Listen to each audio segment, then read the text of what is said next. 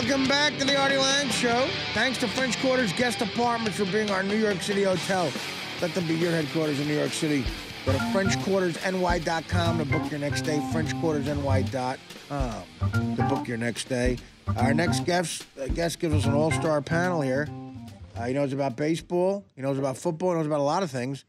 The great Casey Stern. What's up, Case? What's up, boys? How we doing? Hi. So, uh, Are you sick? Oh yeah. what happened? I don't know. I was I was fine. I talked to Filato on Saturday, and all of a sudden I came down with a flu. Really? Yeah, Out of nowhere. out of nowhere. From ta- from talking to Dan? yeah, I think it's possible. But yeah, it's uh, man. I'm, you know, luckily it's uh, luckily it's it's radio, so I'll I'll survive. But uh, yeah, we're we're pumped up on codeine. We're ready to go. Do you have a, a cough and Really? everything? Yeah, it's one of these. Uh, you know, it's it's one of those like you know annoying cold, yet like flu, achy, just pain in the ass kind of deal. So just uh, you know, shake it off a couple of days and we'll uh, get back in there. But uh, yeah, hanging in there. Do you have a Hanging in baby yet? No, not yet. Two weeks away, man. Due Man, date's doesn't it two seem weeks, like so his wife pumped. has been pregnant for?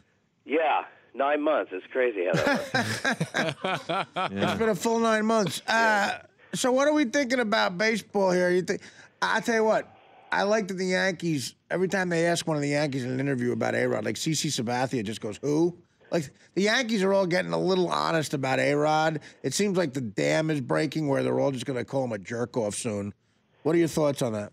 Well, you know, I, i until officially they know that they're rid of him, I don't know if they're going to go that far. But I think you know clearly. CC Sabathia in the Daily News the other day was pretty. Uh, Well, look, I, I- think I think we all know that pretty much everybody in baseball feels that way, outside of Francisco Cervelli and like three other guys that were on the on the on the uh, the report with that clinic in Miami. So I you know, look, uh, I think with the A Rod scenario, you saw how Joe Girardi handled it last year, and we talked about that.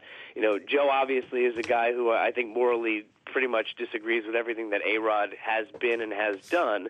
But he went out and fought for the guy when he was part of the team. Now that A Rod's gone, he's gone. The good news is he went away. Uh, you know, the fight is over. The fight now is between him and his lawyers, and, and it's an afterthought.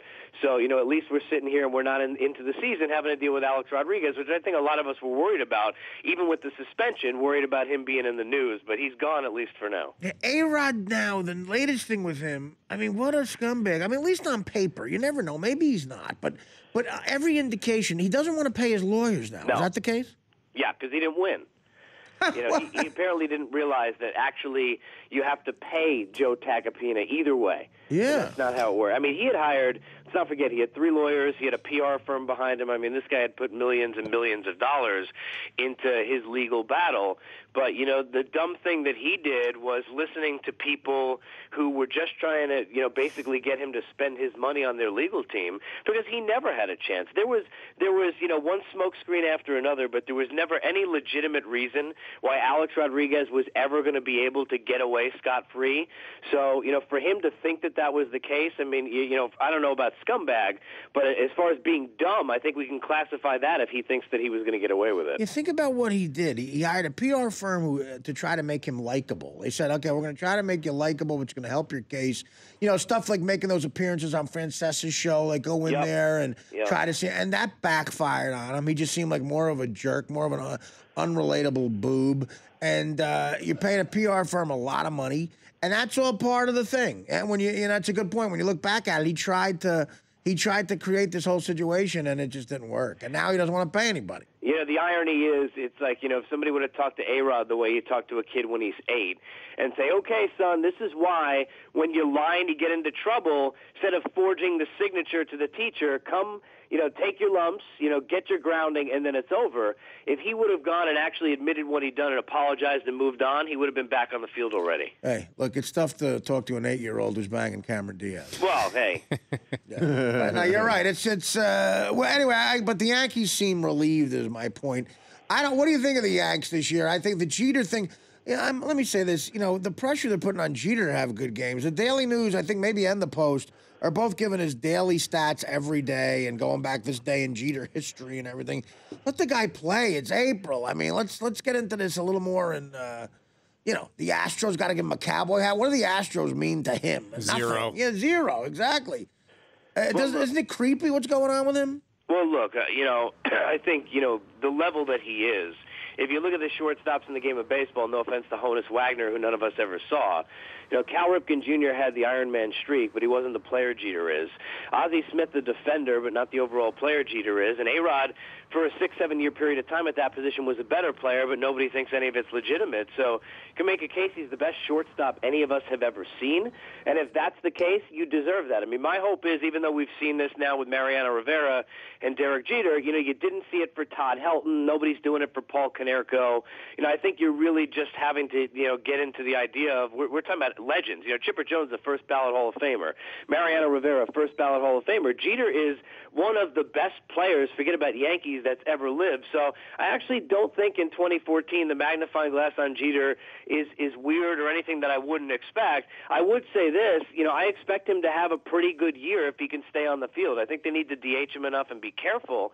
But if they can keep him on the field, Derek Jeter is one of these guys who walks, you know, crawls out of bed at, at 55. He can go have a good AB. So if they can get him up to the plate enough times, I wouldn't be shocked if he hit 300 this season. I don't think the power is going to be there. I think they need to rest him, but I think he could be a, a player. To me, I'm more worried, much more about Teixeira, even before this injury, than I was about Jeter. I think Jeter will be okay if he's on the field. So with Jeter, uh, be, you know, last year he played in 17 games.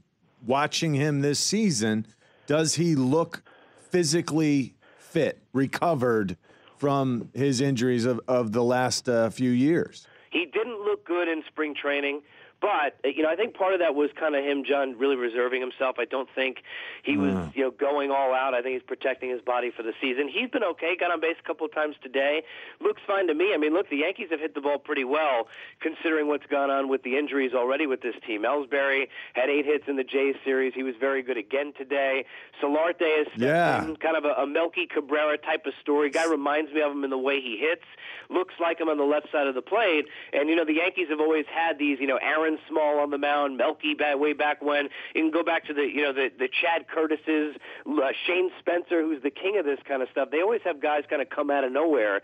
They're going to need Solarte for a little bit because the one thing I can tell you, the Yankees in July will act like they did this offseason. They will be the most active team to try and add and do what they can because even though they don't have prospects, they can take on bad rental contracts and try and get better. But they have to, with Kelly Johnson and Solarte, do enough until they get to July, and that's going to be remains to be seen because Is- they, they have their infield looks like it should be for the San Diego Padres outside of Jeter, not for the New York Yankees. So Solarte, who's nine for 20 this season, Four- a great story. Yeah. yeah, a great story. Is he that good, or is this a guy who's just playing out of his mind Well, right I'd now? say I, I just think he's having one of the look. I mean, It's you know, yeah. he's having a great stretch. I think it's more a great story. Can it last for the whole season at 450? No. Can he be what Melky Cabrera was? Not really a highly touted prospect who turned into a guy that all of a sudden was a relevant player for the Yankees even before he was doing steroids. Maybe. The the thing I love about Solarte guys is when he his last day of spring training, he thought that he was done. Wasn't expected to make the team because they had Eduardo Nunez who ended up going to the Twins today. So Solarte went up to Derek Jeter and said, "I'm probably never going to see you again. Can you sign my lineup card?" And he proceeded to have everybody on the team autograph his lineup card, thinking he'd never see them again. The next day he made the team, and he's been a star ever since. Yeah. Well, anyway, I don't like the Yanks. God knows what's going to happen. Uh, I hope uh, Jeter has a fun last year, but it's just uh, it's crazy how complicated. Even if the, the Jeter stuff, nowadays. though, like if it becomes a distraction, it's his own fault. I never I understood this this I garbage. you, yeah, I never understood this garbage with tell, announcing your retirement at the start of the season. I mean, it, it- you're just inviting all these distractions to come into place everywhere you go. And if Jeter was going to be done with his career, say it the day or a couple days before the last homestand for the Yankees. Allow your home team to to honor you and, and honoring you even. Yeah. You get honored by It being is- paid two hundred plus million dollars. He's, Uh, and he's listen, been I agree, enough. I agree with everything you're saying. Because there's think no about think about anybody who's ever met Derek Jeter would ever think he's doing this for attention. yeah, but listen, Nobody. But why do it? Why do it then? but It here's is the here's- self-indulgent. Here's the point, though, Two Casey. things. One, the Yankees pushed him to do it just like they did Rivera because they want to soak the hell out of it. That's one. Two, Jeter didn't want to be asked the question every single day, "Are you going to retire?" So he got it out of the way. Anybody who's ever, you know, Andy Pettitte, when he was asked about Jeter's response to the Houston thing, his his response was Derek called it torture. This is not a guy. Look, uh, you know, we we always blast athletes. I don't think I've ever covered or seen an athlete who cares less about attention, not from women, but from the media, than Derek Jeter. He could care less what any of us think. Yeah, but Listen, tell. well, I- uh, well, here's here's. I agree with Chris in the sense. What's worse, a, a, reporter maybe every other day because it's not gonna be every day. Everyone, I mean, saying you're gonna retire and you're giving a one word answer, or your assistant coming to you and saying, "Look, the Astros are gonna give you a cowboy hat." You have to think of something to say. It's at least a couple of paragraphs because blah blah blah blah blah. That's gonna happen everywhere, from Houston to Milwaukee to. And, and you got a deal with coming back from an injury. It's your last year. I agree. It's too much to think about. It's crazy, you know. Yeah, I look. Uh, this is Derek Jeter. Hi. I'm knocking on the phone. this is Derek Jeter. You, you can distract him if you want. You can bring Godzilla on the field. He'll get three hits. I'm I- just saying though, he, he could tell the Yankees. Derek Jeter. So he could he could have told the Yankees to bleep off if they wanted to do this whole Really? thing. He could, of course, he could have. Th- No way. How? How could he do that? You He could say, "I'm they're undecided you about know my how much money future." They paid him over his He could say, you know how indebted he is to that. Well, he's Yes, the one guy could- who could, though, man. He could say, "I'm undecided about my future." He couldn't say, "I'm Yes, retiring." he could have. Yes, he could have completely lied and done that. And yes, he could have done that. That would be un-Jeter like, though, Yes. Thank you. right? I like that he shaved his head because he really looks like Franklin from the from the uh, Peanuts thing, now. like Charlie Brown. He looks exactly like Sort him. of. Yeah. Yeah. Hey, hey, uh, Casey. What about uh, what's going to happen with Yasiel Puig? Is he going to uh, find himself out of a job at some point? You know, it, it's it's a question of whether or not they're going to really do what they've said. Ned Colletti told me when I talked to him in spring training that you know they had basically informed Puig that if if things got out of hand and they had all four outfielders healthy, which they do now with Kemp, Crawford, and Ethier, mm-hmm. that he'd be spending time with Joc Pederson, who is the big stud outfielder that the Dodgers have down in AAA. So they've threatened it to him. They called him Santa when he came in out of shape. They weren't happy with the thing that happened where he's driving 100 with his mother in the back seat of his car. With that attention, I know and I've heard from a couple of players inside that clubhouse that, you know, clearly despite the meetings and all the things that Puig has tried to do, even had somebody tell me today that there was a discussion among players about how many times they've tried and just nothing seems to work and get through to him. So Wow. clearly there are issues. You know, the thing with Puig is he's an extremely talented player. This is a top 20 talent already in terms of ability on the field, and that's at a raw level. He's still figuring it out. So, how do you kind of, you know, take the conflict of clearly we're a better team if he's on the field, even with his mistakes and his antics?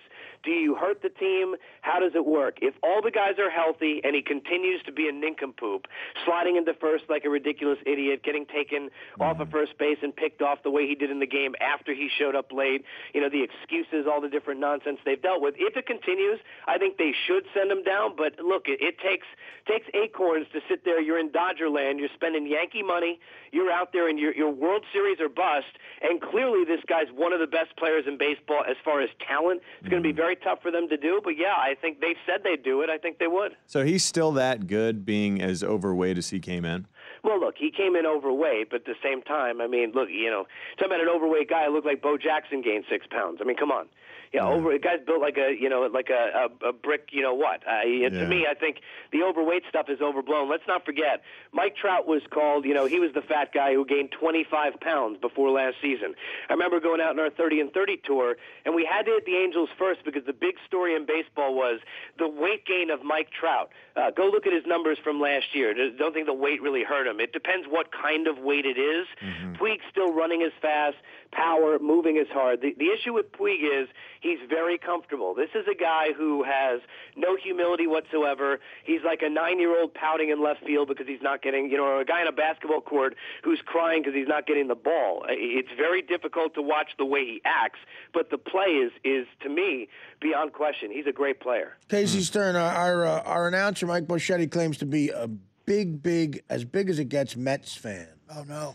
What's the under over on amount of the amount of current New York Mets Bocchetti can name? What's your under over? Uh, because I've tried this with him, I think he's he starts with Gil Hodges. So I Now think, current, yeah, current New York Mets.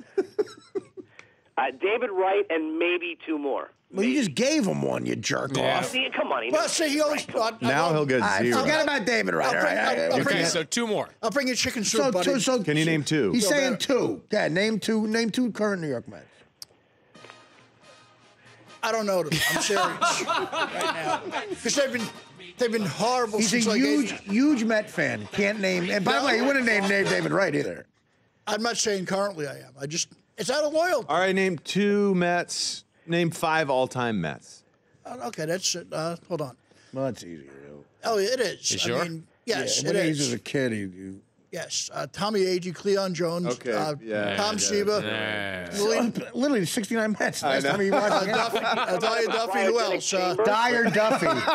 no, John, Yeah, and also exactly, what do you? Casey. Uh, uh, Willie Mays played his last Dyer year with the- in the early 70s. Yeah. Dyer Duffy. He said. Who would you just say? Mays played in 73, his last year of professional baseball. Whatever. Okay, here's Mike's an all memory New was York player, Mike. frozen. Came from the Yankees. Curtis Oh, wait, when when was this? Dan? plays on the Mets now. No way. Curtis I mean, he'll never get it. He'll never get it. He doesn't know. No, I don't. I'm sorry. Play the Yankees and the Mets. Nah, He doesn't, All-star. He doesn't, he doesn't know who he is. No. Curtis Granders. Uh, all right, we're gonna uh, we're gonna go, uh, Casey. I'm gonna let you get some rest, buddy. Good job. Yeah, thanks. All right, boys. Always a pleasure. Get Get some rest and good luck with the baby, man. Keep us informed. I will do. Will All right. do. Thanks so much. Appreciate it. Take care, See ya. Fantasy baseball fans on opening day, DraftKings.com awarded over half a million bucks in cash prizes. Half a million bucks day one. That's right. You got to check out DraftKings.com, America's favorite one-day fantasy sports site. Our listeners are 100, thousands, even a million bucks. DraftKings is their favorite sport fantasy game. A game. A guy named Sam won 100 grand. Seriously, 100 grand day one. DraftKings is one-day fantasy sports.